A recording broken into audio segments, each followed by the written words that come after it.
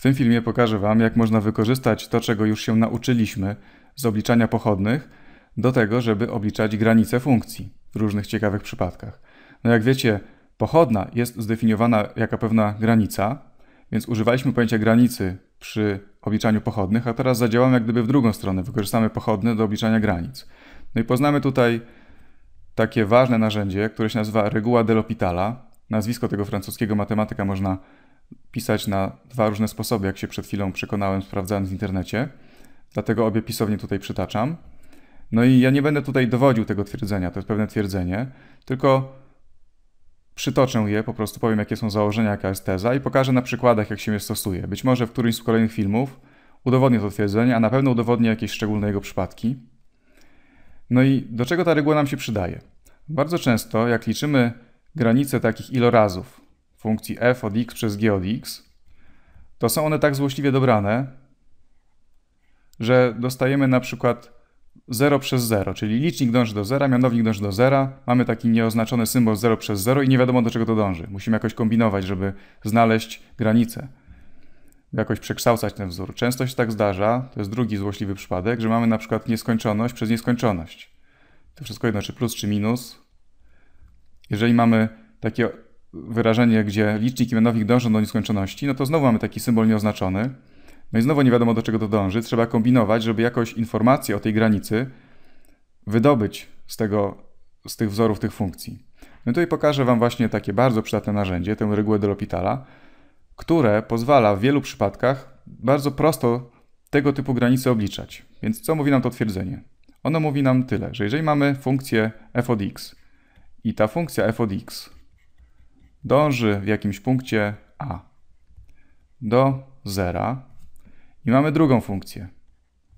g od x, tak jak tutaj napisałem. Będzie nas interesował za chwilę iloraz tych funkcji, granica ilorazu, czyli mamy granicę przy x dążącym do a z funkcji g od x, która również jest równa 0. No i jeżeli tak się zdarzy, że istnieje granica ilorazu pochodnych tych funkcji, nie samych funkcji, tylko pochodnych tych funkcji, f' od x przez g' od x, tym punkcie A, no jest równa jakiejś granicy, powiedzmy, niech ona się nazywa g.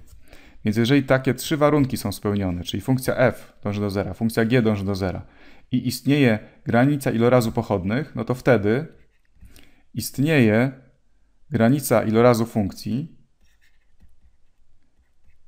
w tym punkcie f od x przez g od x i jest równa tej samej granicy g. Czyli wtedy iloraz funkcji dąży do tej samej granicy, do której dąży iloraz pochodnych. No i drugi przypadek dla nieskończoność przez nieskończoność również jest prawdziwy. Czyli jeżeli jest taka sytuacja, że mamy funkcję f od x, która dąży do nieskończoności w jakimś punkcie, no i nasza druga funkcja przy x dążącym do a Nasza funkcja g od x również dąży do nieskończoności. No i to może być zarówno plus, jak i minus nieskończoność. Tutaj nie możemy się ograniczać. Tutaj może być plus nieskończoność, może być minus nieskończoność. No i jeżeli istnieje granica tego ilorazu, właściwie to ja mogę to skopiować, dlatego że dalszy ciąg tego twierdzenia jest dokładnie taki sam, więc sobie to po prostu skopiujemy. Ten cały kawałek. Kopiuj. Wklej. O. No to wtedy również wystarczy, że obliczymy granicę ilorazu pochodnych i jeżeli ten iloraz pochodnych dąży do jakiejś ustalonej granicy, no to iloraz funkcji będzie dążył do tej samej granicy. Czyli wszystkie tego typu przypadki podpadają pod to twierdzenie. No może to wyglądać trochę zagmatwanie, więc ja teraz pokażę, jak to działa na konkretnym przykładzie. Spróbujmy obliczyć granicę takiej funkcji. Granica przy x dążącym do zera z funkcji sinus x przez x. No, jeżeli oglądaliście różne moje filmy, no to pamiętacie, że jest taki film, w którym ja dowodzę, że ta granica jest równa 1. No i to jest taki dowód geometryczny, gdzieś tam się dowodzi nierówności między sinusem, tangensem a xem. No a tutaj zobaczymy, że używając reguły de L'Hôpitala praktycznie natychmiast obliczymy tę granicę. No więc zróbmy to tak bardzo poglądowo. Czyli ta funkcja w liczniku, sinus, to jest nasza funkcja f od x. To, co w naszym twierdzeniu było w mianowniku, nazywało się g od x, czyli to jest g od x. No więc obliczmy pochodne tych funkcji. Pochodna funkcji f to jest pochodna sinusa. Pochodna sinusa, jak wiecie, to jest cosinus x. Też to kiedyś dowodziłem w którymś filmie. No, pochodna funkcji g to jest po prostu pochodna x, czyli to jest po prostu 1. Czyli możemy obliczyć granicę ilorazu pochodnych. Granicę przy x dążącym do zera z ilorazu pochodnych f' od x przez g' od x. No bo to jest, tak jak już obliczyliśmy te pochodne, pochodna licznika to jest cosinus x, pochodna mianownika to jest 1. No i teraz w zerze cosinus dąży do jedynki, bo, no bo cosinus zera to jest po prostu 1, czyli to jest 1 przez 1, czyli 1. Czyli ta granica w tym konkretnym przypadku jest równa 1. No to z tego wynika, że granica ilorazu naszych wyjściowych funkcji musi być równa 1. Czyli widzimy, że błyskawicznie obliczyliśmy tę granicę. I tutaj ja to zrobiłem tak bardzo poglądowo, żeby, żeby nie było wątpliwości, jak to się robi. No ale jak liczymy w rachunkach, to zwykle to się oznacza troszkę inaczej. Robi się to troszkę szybciej. Jak liczymy taką granicę sinus x przez x, no to jak chcemy zastosować regułę do L'Hospitala, to często przyjęło się pisać tutaj taką literkę h, żeby sprawdzający wiedział o co chodzi.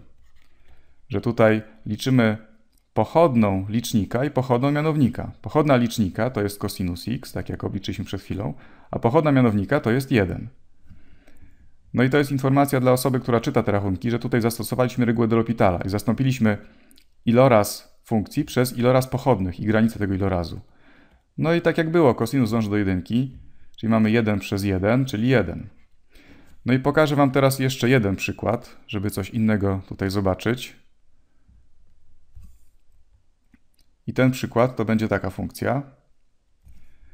Granica przy x dążącym do zera z prawej strony z funkcji x razy logarytm naturalny x. Tutaj jeszcze taka uwaga, że ja wypisałem tutaj dwa przypadki tego twierdzenia. Tych przypadków jest tak naprawdę więcej, no bo można rozważać granice jednostronne, lewostronne, prawostronne i to twierdzenie również zachodzi wtedy. Można rozważać granice w nieskończoności, nie tylko w jakimś skończonym a, w plus nieskończoności, w minus nieskończoności. I to twierdzenie również wtedy zachodzi. No ale nie wypisywałem wszystkich tych przypadków, bo to zajęłoby bardzo dużo czasu. No ale tak jest. To znaczy dla granic jednostronnych, granic nieskończoności również to jest prawda. No i tutaj mamy taki przypadek, granicę prawostronną w zerze. No ale powiecie zaraz, tutaj w ogóle nie ma ilorazu. No nie ma ilorazu. No ale zastanówmy się w ogóle, jaki jest problem z tą granicą, zanim zastanowimy się, jaki jest problem że, z tym, że nie ma ilorazu. No tutaj mamy x dążące do zera, czyli pierwszy czynnik dąży do zera, a logarytm w zerze z prawej strony do, do czego dąży? No dąży do minus nieskończoności. Czyli mamy taką granicę typu 0 razy nieskończoność, konkretnie minus nieskończoność. No i to też jest pewien typ symbolu nieoznaczonego, no bo nie wiadomo, do czego to dąży. Czy to szybciej dąży do zera, czy to szybciej dąży do nieskończoności, czy ta granica jest jakąś skończoną liczbą, czy to jest zero, czy nieskończoność, nie wiadomo tego. No i tutaj, żeby zastosować regułę de L'Hospitala, to trzeba najpierw troszkę przekształcić ten wzór, żeby mieć ten iloraz, którego tutaj na razie nie mamy. Więc zapiszemy to po prostu w innej postaci. Zapiszemy to tak. Napiszemy, że to jest logarytm z x podzielone przez x do minus pierwszej. To jest to samo, bo mnożenie przez x to jest to samo, co dzielenie przez x do minus pierwszej. No i teraz mam iloraz. I to taki iloraz typu nieskończoność przez nieskończoność, czyli taki, do którego mogę zastosować regułę de L'Hospitala, dlatego że tutaj logarytm dąży do minus nieskończoności, a to też dąży do nieskończoności, bo, to, bo mamy odwrotność x. Jak x dąży do zera, to odwrotność x dąży do nieskończoności. Czyli mogę zastosować regułę de L'Hospitala, czyli to się równa, zgodnie z regułą de L'Hospitala, granicy ilorazu pochodnych tych funkcji. Pochodna logarytmu to jest 1 przez x. Żeby nie mieć piętrowych ułamków, to napiszę, że to jest po prostu x do minus pierwszej, a pochodna x do minus pierwszej to jest minus 1 razy x do minus drugiej. Czyli czemu to będzie się równało? Granica przy x dążącym do zera z prawej strony. mam minus x do minus pierwszej, a dzielenie przez x do minus drugiej to jest to samo co mnożenie przez x do drugiej, czyli ostatecznie to będzie granica przy x dążącym do zera z prawej strony z funkcji minus x. No bo x do minus pierwszej razy x do drugiej to będzie minus x. No a ta granica jest po prostu równa 0, no bo x dąży do zera. No i to jest bardzo ważny przykład. Obliczyliśmy taką granicę, że x razy logarytm x w zerze dąży do zera. Przy okazji przećwiczyliśmy regułę do L'Hospitala, no i mam nadzieję, że przekonałem Was, że jest to bardzo przydatny wzór, no bo bez niego bardzo trudno byłoby nam zgadnąć, do czego dąży taka funkcja w zerze. A w kolejnych filmach pokażę Wam jeszcze więcej ciekawych przykładów.